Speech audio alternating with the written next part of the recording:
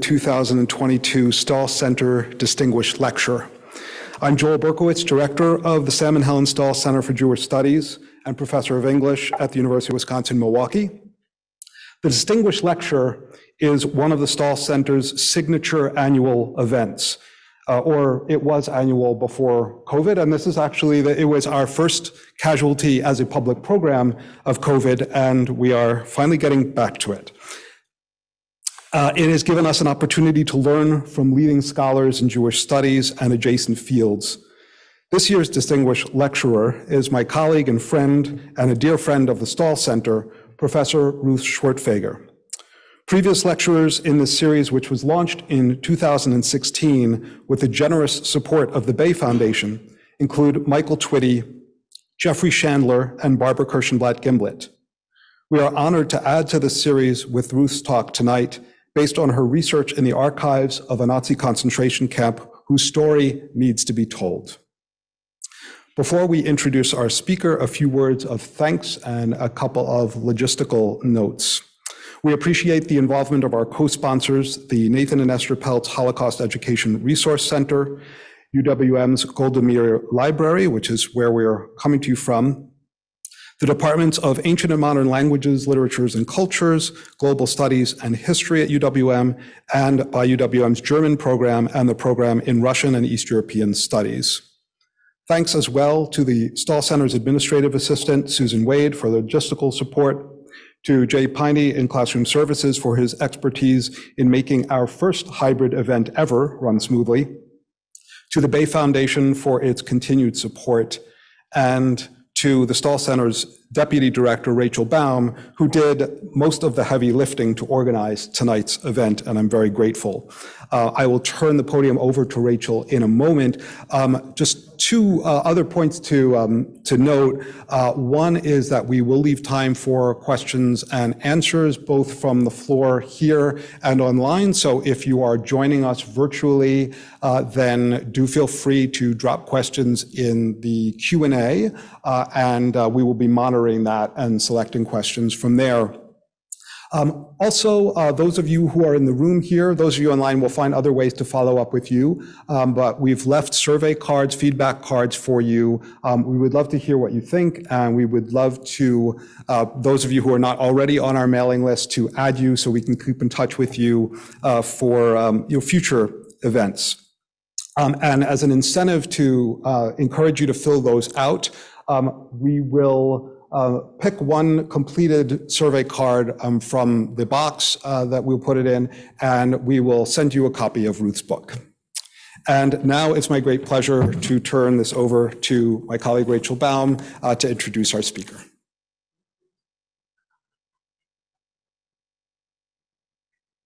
I was willing to arm wrestle Joel for the privilege of introducing Ruth, but it turned out not to be necessary because Joel is so gracious.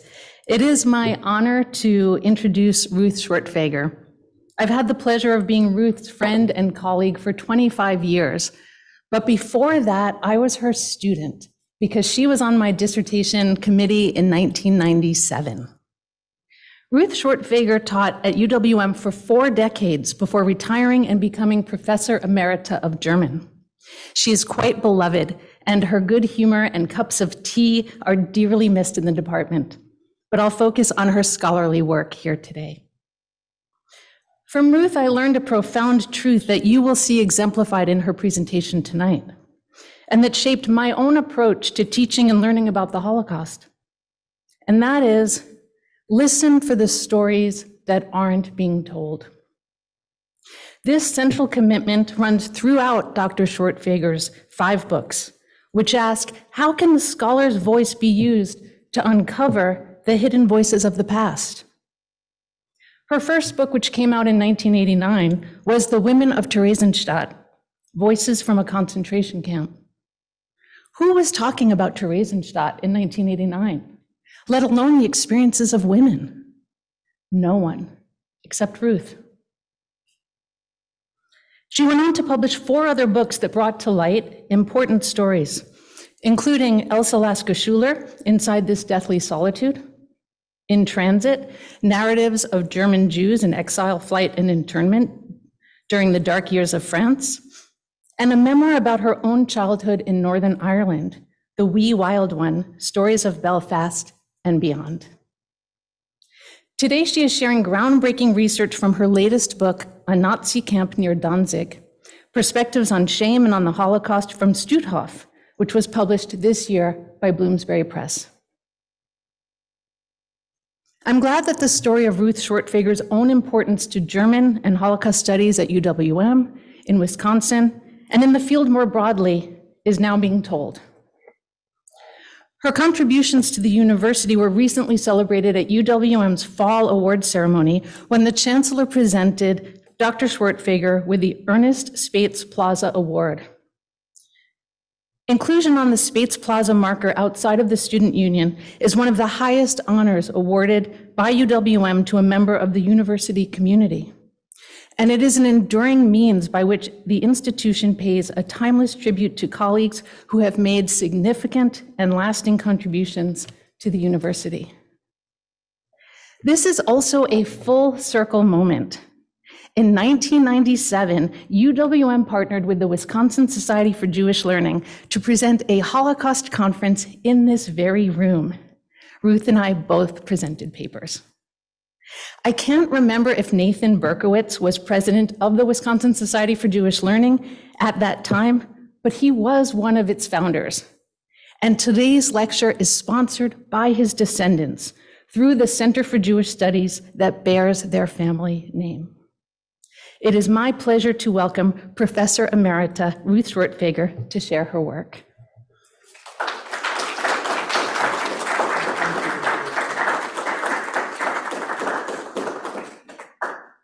What can I say after that? That's very, very touching. And I'm surrounded by friends, dear friends whom I've known for, for so many years and have loved dearly. So I, I, want to start by simply thanking you all for, for coming tonight on this lovely autumn evening. You could be at home poking the fire a bit, couldn't you? But yet you came to hear about Stutthof. And I hope you leave knowing more about this dreadful place.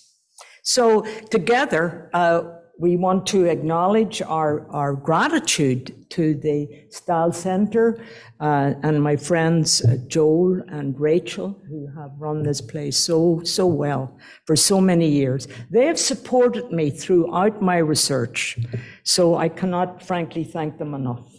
And then uh, HERC, or the Holocaust Education Resource Center, uh, I'm very happy to be supported by them tonight. And of course, our own library, the Golda Meir Library. Boy, I would love a dollar for every hour I've spent here. I'd be a very rich woman, believe me. So we thank them for keeping on the lights tonight, uh, and we'll not keep them up uh, too late. And then to um, these dear people out there uh, joining us virtually.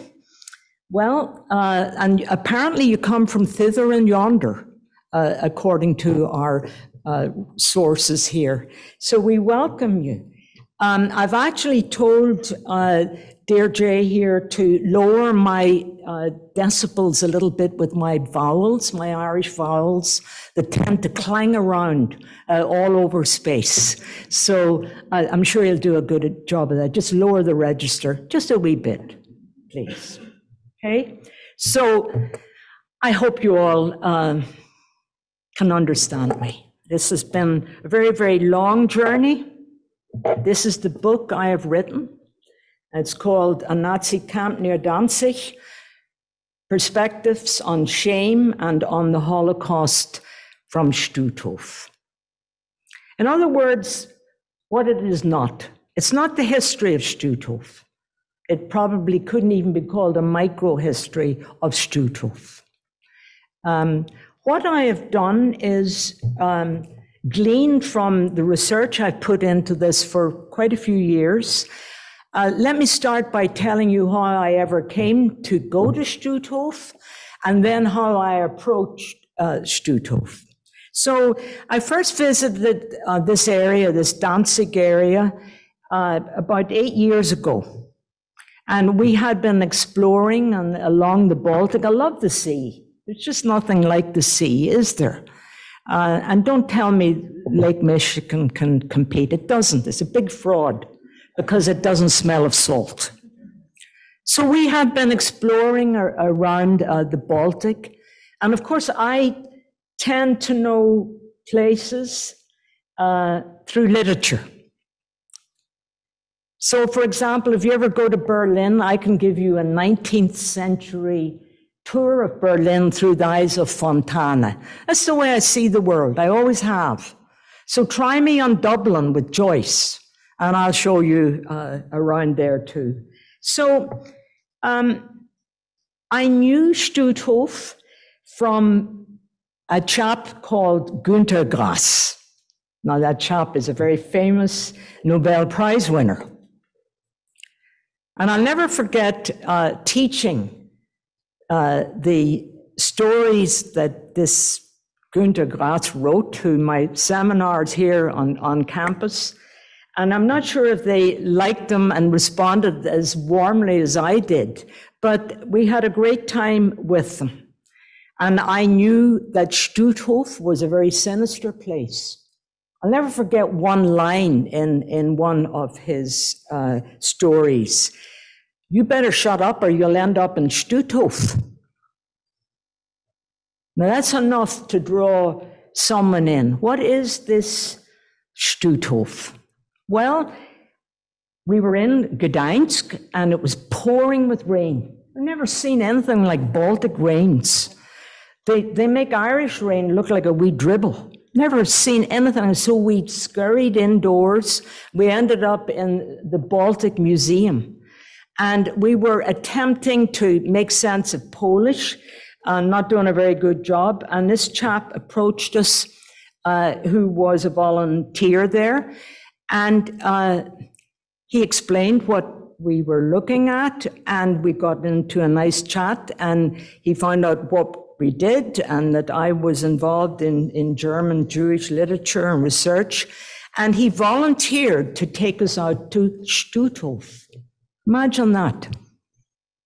So off we went the next day, and we met the archivist there, and I emerged from the archives of Stutthof with a heavy bag of books. Now I hear you ask, but you speak Polish? No, I don't. And I explained that to them. Well, there's no point even thinking about doing research on Stutthof because I don't speak Polish. And they pointed out to me that many of their main, their primary sources were translated into German. So I um, agreed to have a look, and I lumbered out of there with all these uh, books, uh, translations uh, from uh, Polish into German. And that uh, is how my journey started.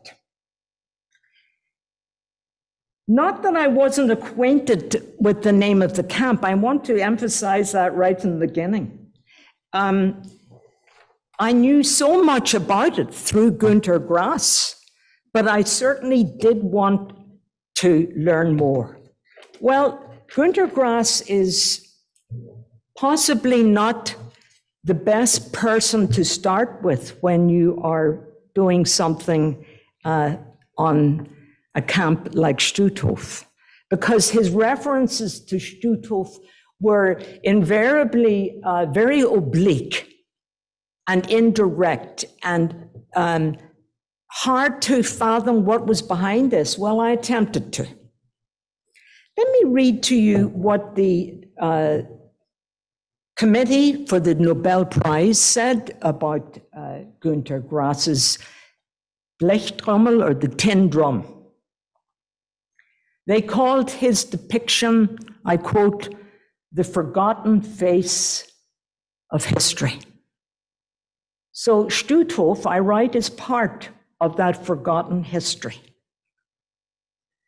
Grass confronted the Nazi past in the Danzig trilogy. That's what these three uh, fictions were called later, actually by uh, a professor at, at Oxford, John Reddick. That's what he referred to them as. So Grass himself never called them that, but they were called that later. So his depictions of the pre war regional history of Danzig and Pomerania are specific and imbued with authentically regional flavor and vibrancy. But when it comes to Stutthof, he is selective. And he presents the camp in snapshot form, in metaphors, in brief anecdotes about minor characters, or in rumors about shocking atrocities. While this oblique treatment of suffering underscores rather than obscures the camp's bleakness and cruelty, it also contributes to the silence that has lingered over Grass's relationship to local history, including the destruction of a community that he portrayed so effectively in his fiction. In the course of his long life, his responses to German history, both in fictional works and in memoirs, included his attempt in a memoir called Crab Walk, translated Crab Walk, Krebsgang, published in English in 02, to write about other sufferings, like the anguish of displaced Germans in 1945. There is, however, one mem- memoir that posed a major problem for Grass and his readers.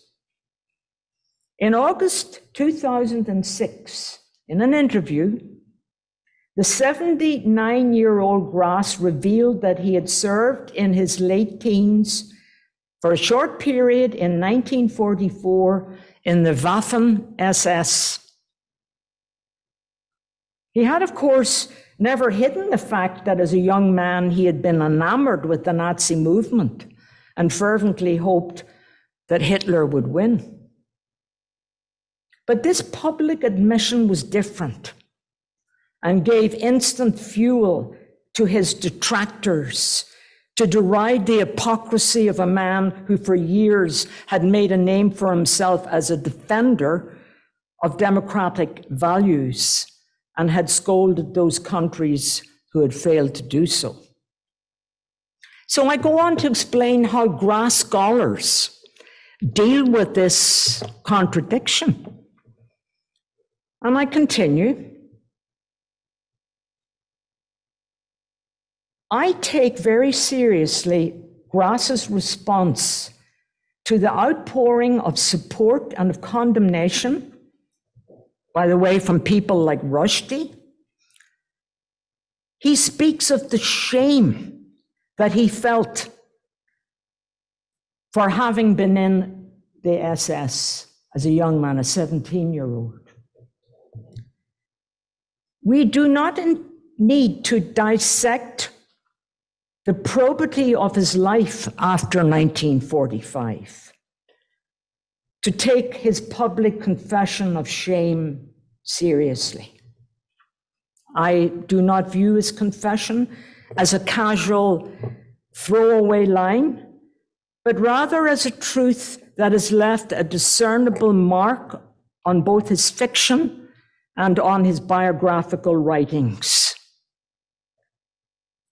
Though there are few comments directly about Stutthof, and even those are veiled, one senses that Grass's discomfort with the subject hits very close to home. I was presenting my scholarship in Warsaw a few years ago, and there was a scholar there in sociology who afterwards really went after me. And he said, You're far too light on Günter Grass. You should have done a better job dissecting him, in other words. So, what do you say?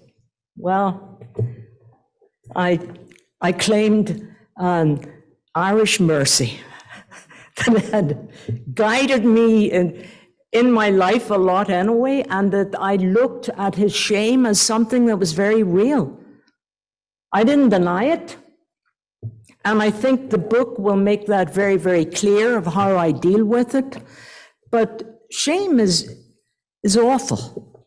And to live with shame uh, for so long, um, that's hard. So, what did he then uh, have to say about uh, this camp? Let me draw an example from one of the characters in his books. I quote They took him to Stutthof, and there he stayed, a dismal, complicated story, which deserves to be written, but by someone else, not by me. End quote. By conceding that the story deserves to be written, though not by him, Grass is taking his leave, and I suggest admitting the limitations of fiction in the face of facts. That distinction will be clear in the chapters that follow. He goes on to say about his time in the Waffen SS For decades, I refused to admit the word and the double letters SS. What I had accepted with the stupid pride of youth, I wanted to conceal after the war out of a recurrent sense of shame. But the burden remained, and no one could alleviate it. I will have to live with it the rest of my life. I'd like to say at this point that um, shortly before Grass died, I actually wrote to uh, his secretary and, and asked some of these questions. I mean, how he dealt with this now. Uh, uh, clearly, I knew he had been ill, but he was very, very gravely ill. And sadly, uh, I did not get any reply to that. But um, I offer this because I did not go into uh, Stutthof with this knowledge that I had from Günter Grass in any kind of, shall we say, prideful way that I was going to set the, the record straight here. Uh, on the contrary, I was deeply um, moved by his sense of shame because that shame clearly emanated from the circumstances in the camp. The camp was absolutely awful. So many memoirs refer to it as, as hell. Well, I know that in general, Holocaust memoirs often use that word hell. But in the case of Stutthof, uh, they give very, very specific reasons why this place uh, was such a hell right from the beginning.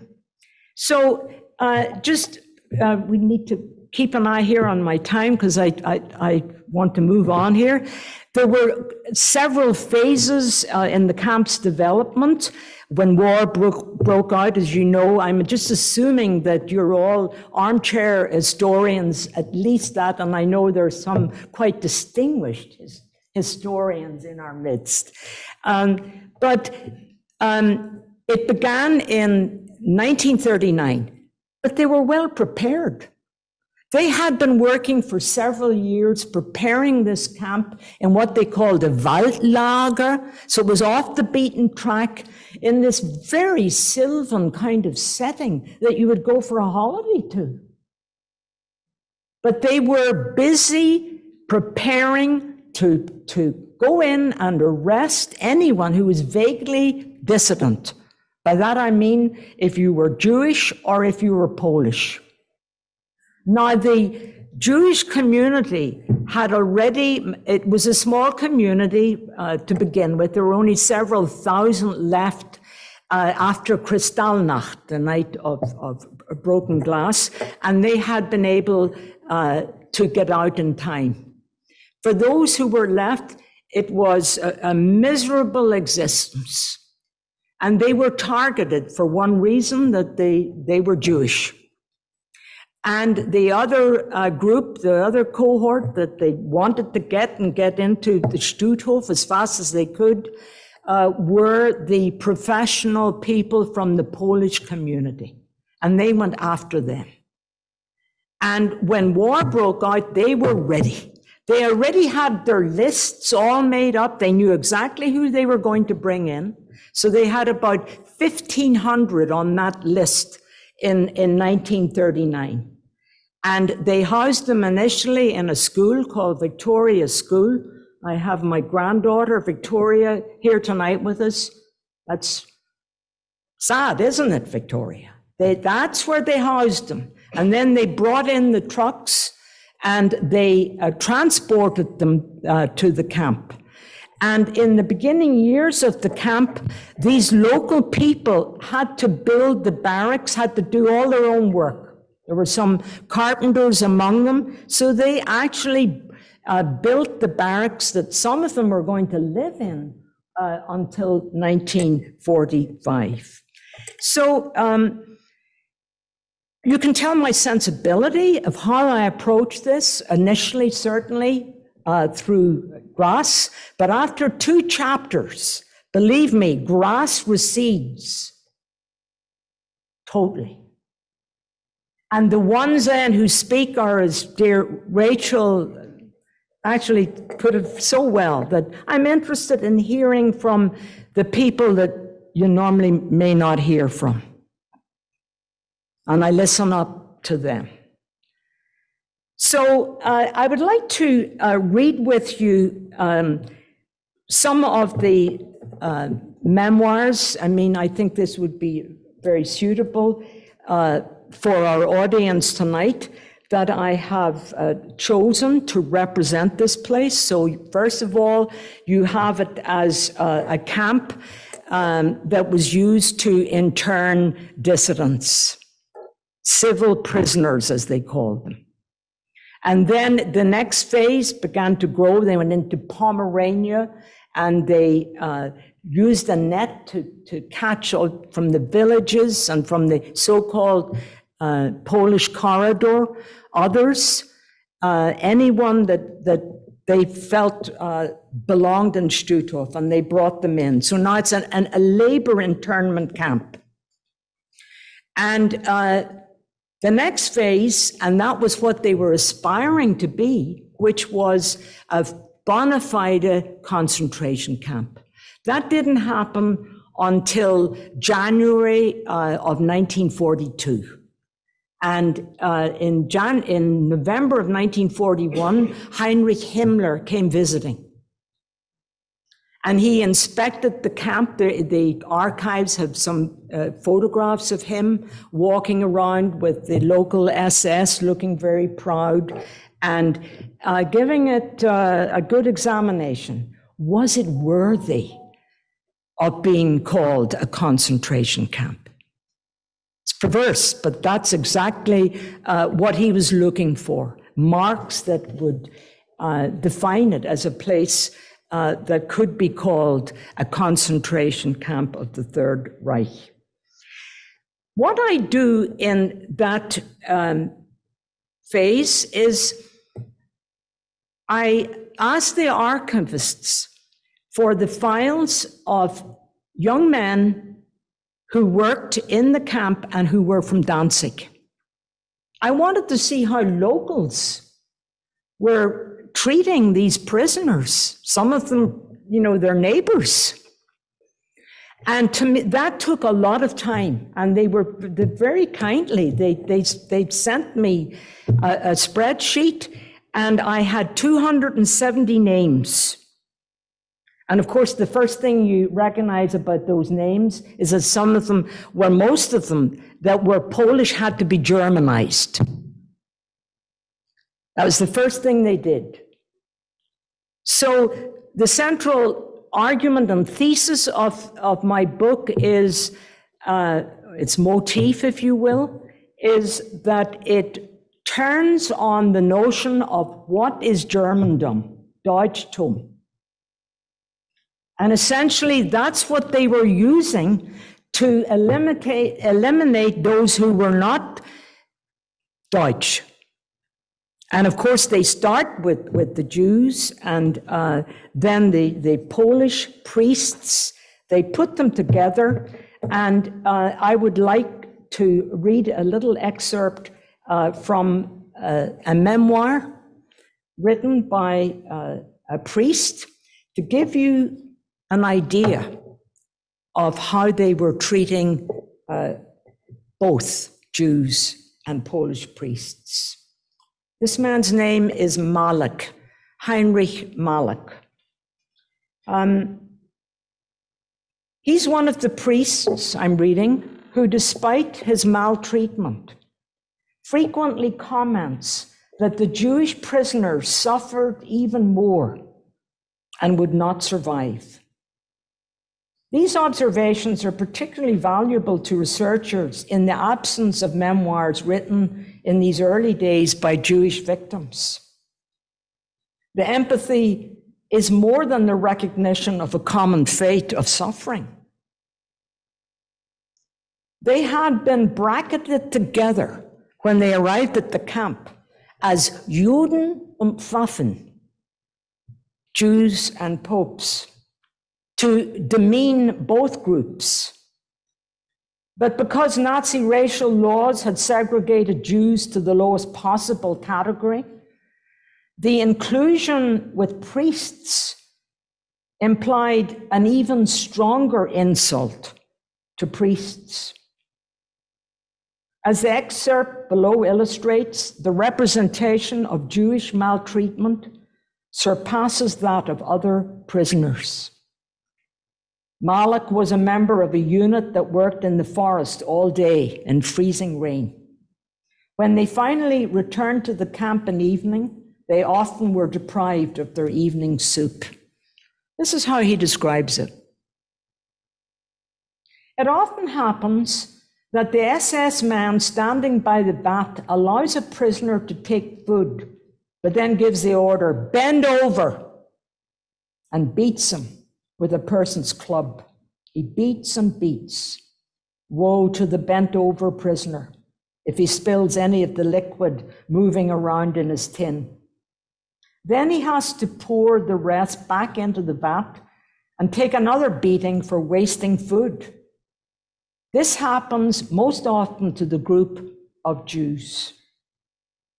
There was not a day when they were not mistreated especially during the distribution of food rations. Often they were driven away without any food, unfortunate ones. Much worse off than we, the priests, although the SS men usually persecute Juden und Pfaffen. Let me pause here to tell you about this uh, priest Malak. Um, when I, I, I tried very hard to find out everything I could about the people either I found in a document in the archive or in a memoir. Um, and in this case, I found out that this gentleman had ended up in Pulaski, Wisconsin. And uh, of course, I went right there, knocked on the door of the friary, and um, did my best to explain why I was there. And they brought my husband and me in, and we sat down. And I said that I was writing this book on, on, on Stutthof, and I understood that one of their friars had been there. Oh, Father Malak, oh yes, and he died and told me. I said, I'd love to visit his grave because I would like to pay my respects. And I had, you have to be so careful in doing research because I'd actually read somewhere that he was buried in Wisconsin. I think it was just the, uh, it was presumed that because he had gone there, he's buried there. So it's, oh no, he's not buried here at all. Uh, he's buried in Illinois and gave me the name of the place in, in Illinois. Well, they told me about uh, what poor health this, dear man had, how he was bent over with rheumatism. He could hardly walk, etc. I told them about why he had rheumatism. And it was a, a very touching, obviously. It's one of those little byways of research that don't happen much, but it certainly put a, a face uh, on this memoir that we wrote. I'd like to also share with you another aspect of Malak's memoir that I find very significant. He's writing about his, his father, and he's writing about German Polish history. And he makes the point that there was a dramatic change since the Nazi takeover. I think this is an important memoir on several levels, but especially in its depiction of an image of Germany and of Germans that could easily have been erased in the history of the new regime. And then he tells, I explicate that, and then he tells this anecdote, which perfectly illustrates it, talking about his father. His father had come to say goodbye to him when he had initially been arrested.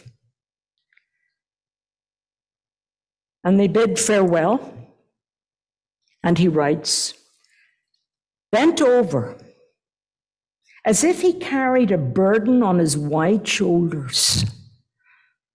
He walks along the poplar lined road, which is covered by snow.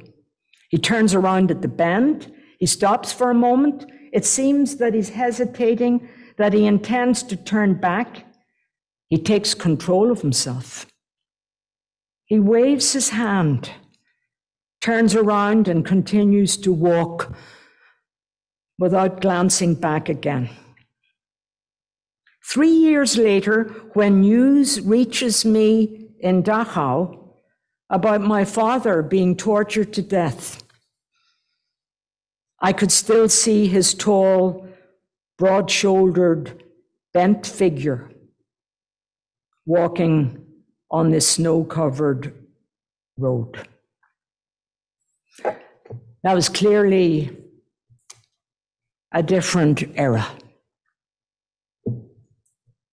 But I think um, it's important to include in the story of Stutthof if you're dealing with uh, a large group of priests who were there. After uh, Stutthof, they were sent to Sachsenhausen and then uh, on to uh, Dachau, where many of them uh, died. But we must go on. The next phase brings in we thought it was hard going to go through those early memoirs and documents. The next phase is, of course, now a full blown camp, and with all the support from the Reich, with the money that they needed. It was fascinating to read the, the uh, exchange that happened between the other camps, like especially Mauthausen, Flossenburg, and they were looking, for example, for good, strong, what they call Berufsverbrecher, these professional, well, I'd call them thugs. And they would send them to the camp, and they actually helped the, the SS uh, keep order. So the train records are fascinating about the places uh, that Stutthof was exchanging prisoners or guards uh, with. So um, what about the remaining few Jews then of Danzig and, and Pomerania? Well, there are not many of them left, a few hundred. And um, the head archivist, uh, this is Dr. Danuta Drywa, and I am forever grateful for the, um, the way she has supported um, my research throughout. I've never I've never been turned down for any document that I needed, and I'm deeply, deeply uh, grateful. This is what I received from those files about Jews. Uh, there, we're talking about, about maybe 600 Jews, and of them, uh, 300 were murdered in Pomerania. Not in Stutthof, but around Pomerania. And the other really perplexing aspect of my research was the number of camps. They had camps all over the place. Not only just for the, the people, for like priests, they had a special camp for them.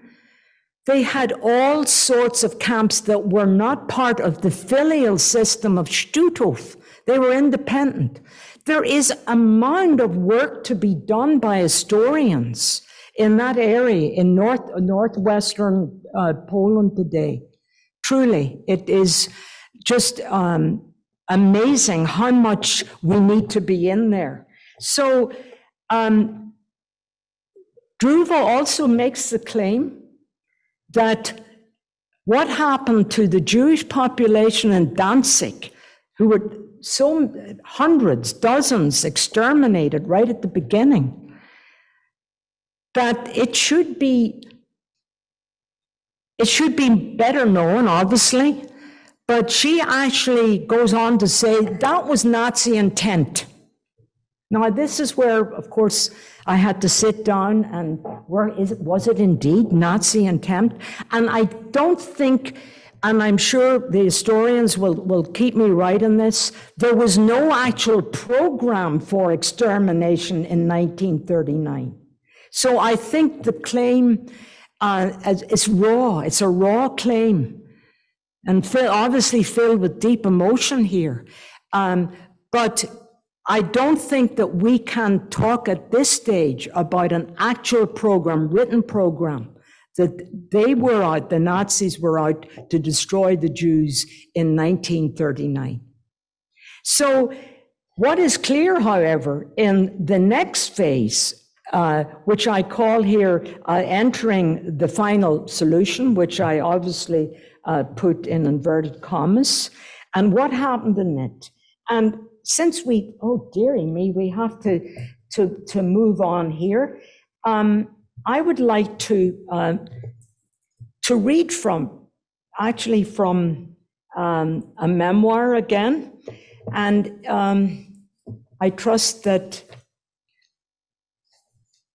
you're following along with me. That we are now in this the crucial part of the camp history. We're in 1944. Let's go right there. Wave when my time is, please, Joel, because these are possibly longer excerpts. 1944, uh, July, you know what happened then, the attempted assassination of Hitler, and that brought in dozens of new prisoners. Uh, and that was very interesting because it frankly um, emphasizes how they were seen by the, the, the commandant. They were German, and therefore they had to have a decent uh, place to stay. Meanwhile, we were getting in others from Denmark and Norway.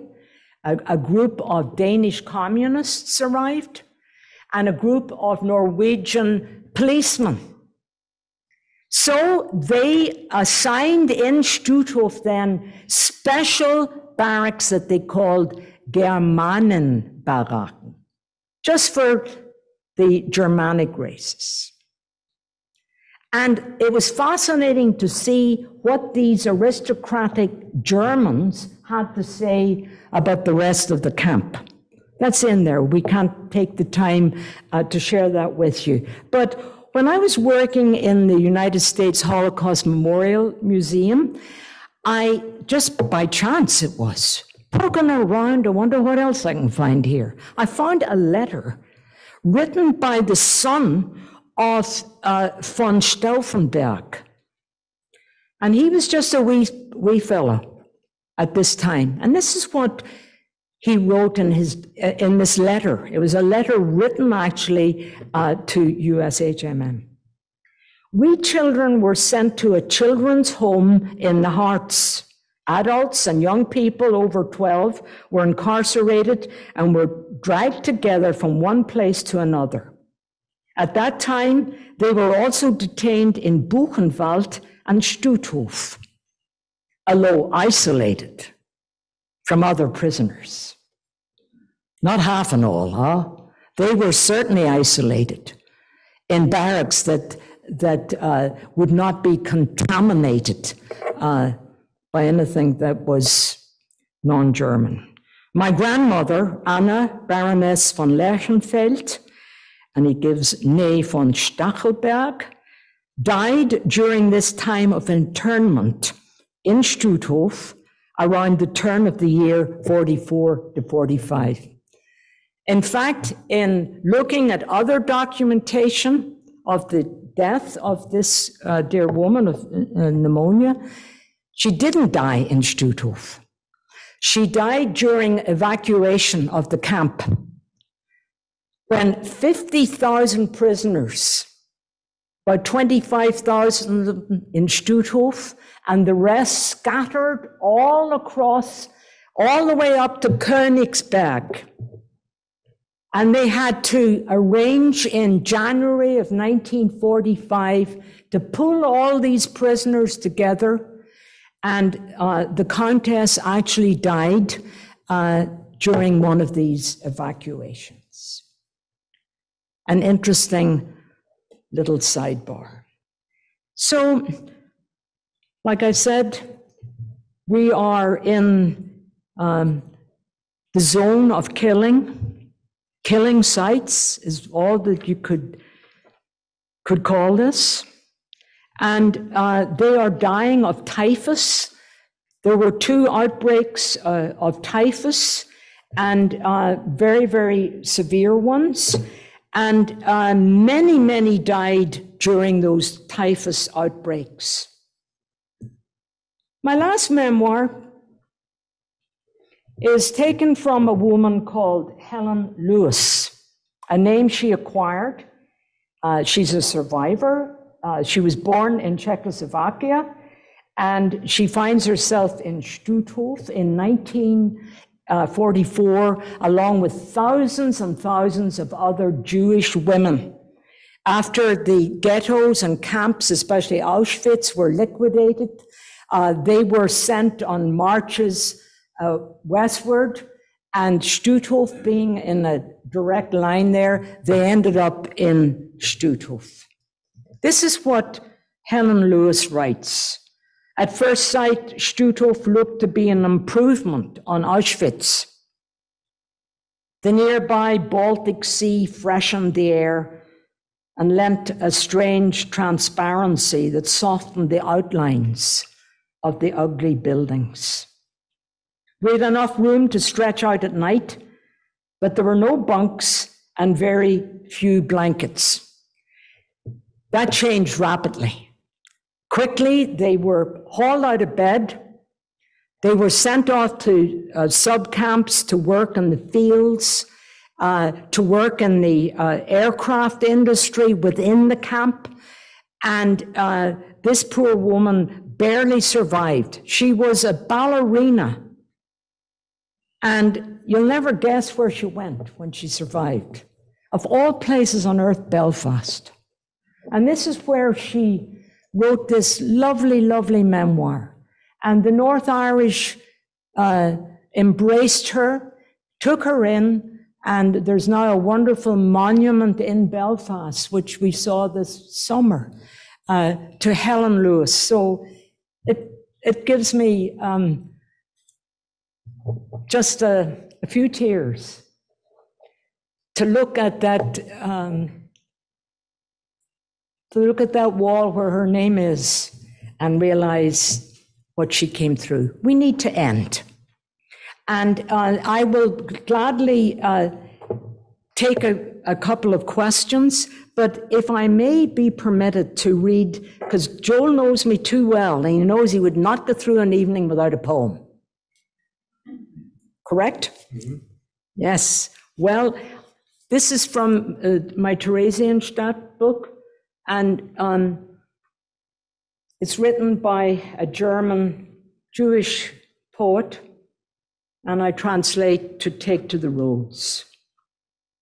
To take to the roads, to take in the blades of memory of departed days. The door that shut stands open, bids shooting stars come in and rainbows, companions of the road. A voice makes clear never again. Releases love's word, a blessing with confessing lips, as if an angel spoke to me. We're living in dangerous days of awful anti Semitism. And uh, I find myself taking out these poems of Theresienstadt and reading them aloud, defiantly. Thank you for your attention.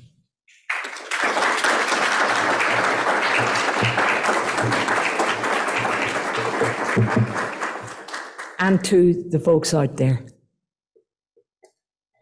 Ruth, thank you for that uh, compelling and important lecture, and as you suggested, all too timely um, in so many ways.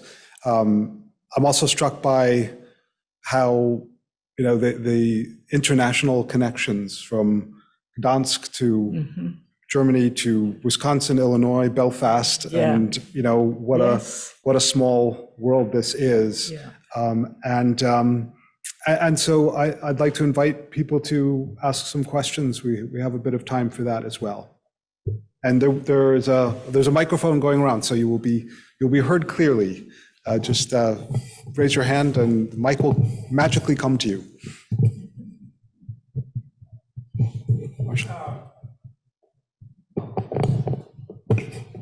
Have a lot of difficulty geographically uh, comparing Silesia and Pomerania and all these different names of places that refer basically to the same place, the Pale of Russia. Uh, and since there was no Poland for 100 years, it's, and plus a few, uh, labeling where all these places were is a very difficult job. And as you mentioned, they're finding many, many places that were mini camps or sub camps or whatever. And um, truly, your book will enlighten us in that direction. Yeah, and I do, I'm very careful in that. I'm very glad you actually asked that because uh, I decided to um, give the, the, you know, of course, they journalized uh, everything that they found. And uh, I, I'm very careful to give the German and the Polish, and anytime there was a change there, uh, it's there, it's in the book. I hope that would be helpful.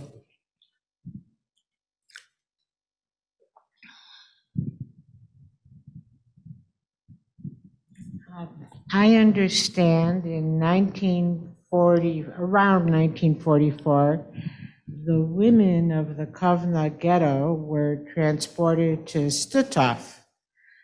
Uh, And in fact, my mother and my aunt were, can So you, can you hear? Yeah. And my, in fact, my mother and my aunt were transported to Stutthof. Um, And uh, of course, you know, they fled when the Allies were bombing. And of course, they lived. I wouldn't be here otherwise. Um, Or they survived, I guess I should say. Do you have any research about that in your book? No, I'm sorry. I'm, I have to, here's a confession. I'm, you know, as you get older, you lose your humor, use your hair, and your, hearing. It's going. I, I wear a very discreet little uh, hearing aids that, that frankly are useless. So I didn't hear your, your question, but Joe's going to help. Well, I'll, I'll give you my audiologist's uh, number after the. But uh, seriously, uh, the, the question was about um, including the, the question's ancestors um, transported from the Kovno ghetto. Oh, sure, to- yes. to There's a lot in here. So could you say There's a, yeah, there's a lot in, I had, I had quite a few uh, um, memoirs that I read, and that was a, that was a, frankly, a, a route that came up a lot. And the other thing about people that came from, from uh, very often they didn't stay long. And so that's one of the problems with Stutthof, that, oh, oh, I forgot about this. Here I am, I'm back. Um, they were moved on again.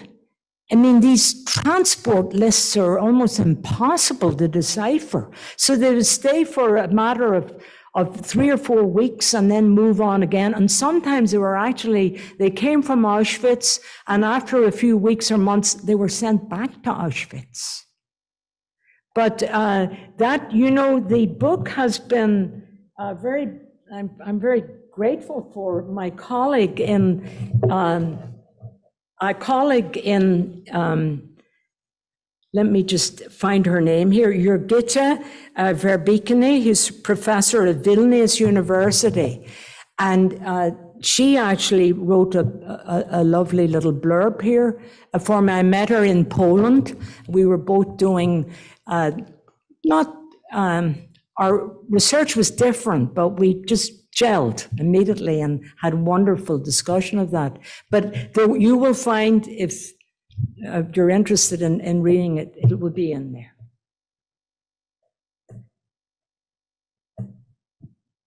I've got a question um, from the, from the virtual room. Yes. Um, first, a comment from Jeff Beater, who says, "My father's mother and two sisters died in Stutthof, so I am grateful for this attention to a place I only knew of slightly. They were, they also were from Kovno." Boy, So very resonant. that's hard. Yes. And then, um, Well, 65,000 people perished in Stutthof. 65,000. I mean, that is, um, that's a lot of, you, you think of towns around here that, ah, just put it like that, 65,000 perished. And most of them Jewish at the end of uh, 44 and 45. I mean, in these evacuations, nearly half of them died. This was the heart of winter, don't forget that. Going through snow and ice. And if they fell, they were instantly shot. It's one of the hardest reading I've, I've ever uh, had to undertake. well, and that, that brings me to the next question um, by Tess Maniki, who says, I'm, who asks, I am curious what drew you, what you felt drew you to this camp. The so-called larger camps, in quotes, seem to hold such sway when it comes to people writing about them. What about this particular camp made you feel a pull to learn more? Uh, The question was, um, you know, there, there are uh, many larger, better-known camps. Yeah. What drew you to this particular camp? Well, um, I think it was divine intervention, but that would be a quaint notion, and I think my friend Nigel would just set me down and say, Ruth. yeah, I, I felt very, very clearly that when I left Stutthof that day with all that, that if I can do this, I didn't think I could. And I'll be honest with you, looking back on all these years, I don't know if I would do it again. I really don't. Um, we were over there three times, and um, then we had that um, time with the Polish scholars, um, and that was that was very, very enlightening for me, and um, I learned a lot, but it was very humbling to to, recognize how, how little I, I knew. I, I really have left the door wide open for historians to take up this story. I mean, these are perspectives, and they are certainly uh, written by a woman who spent a lifetime in literature.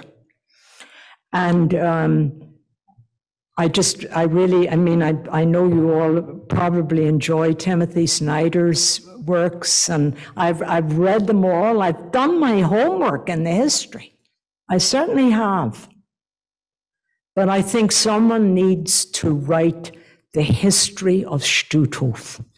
Someone who can work in Polish.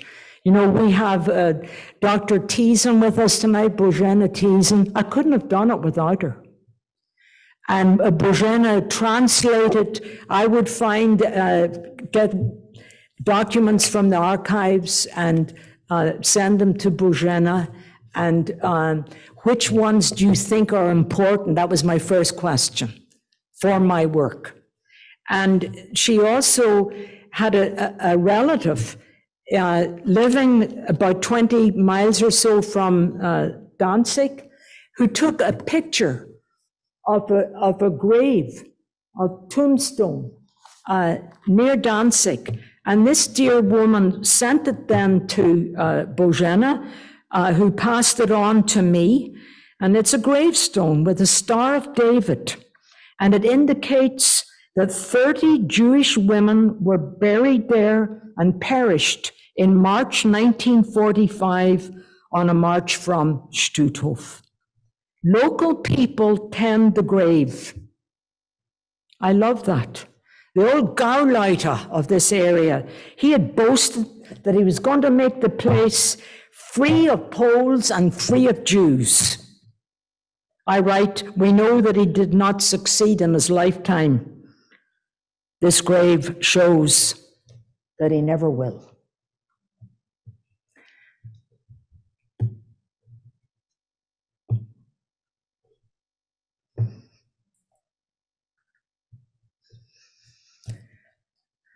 There's unfinished work. Very much. Yes.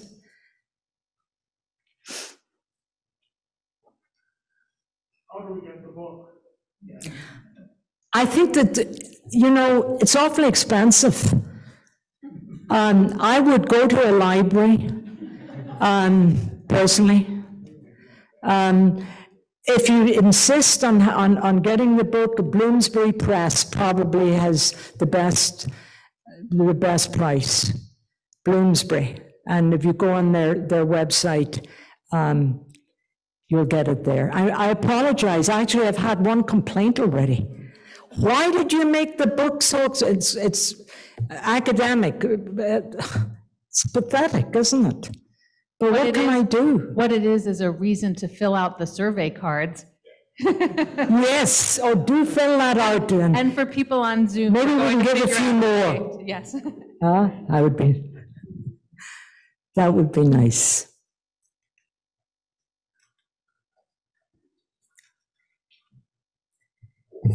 Okay, uh, Ruth, thank you again. Thank you all uh, for coming. Thank you for your thoughtful questions, um, both online and in person.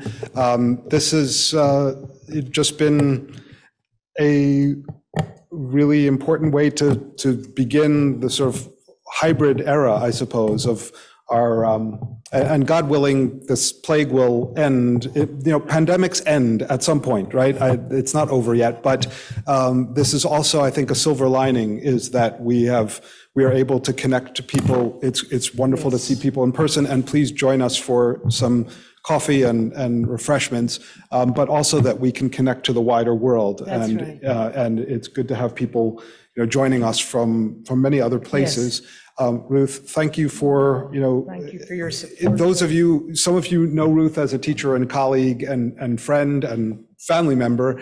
Um, and those of you who didn't before can see why Rachel was talking i- i- in such loving detail about what a beloved teacher you are with such incredibly difficult material. Thank you for taking us through that so sensitively. Thank you, Joe.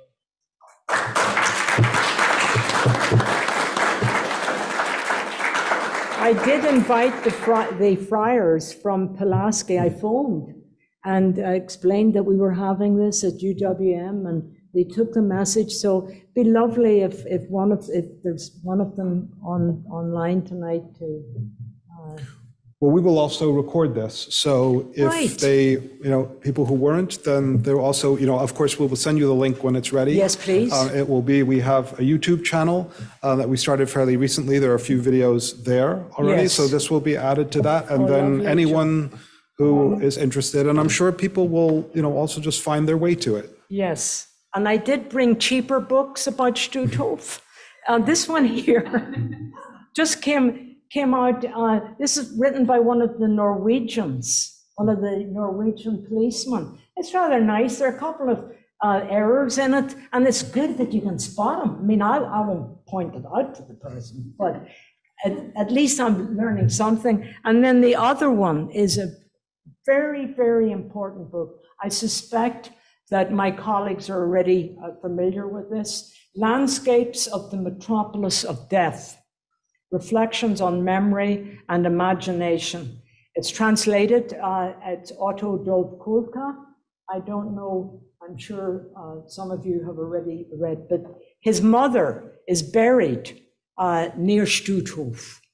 Uh, so he's at uh, Hebrew, he's emeritus also at Hebrew University. But a very powerful book that should be, definitely should be read. So, and it's cheaper than mine. All right, thank you very, very much.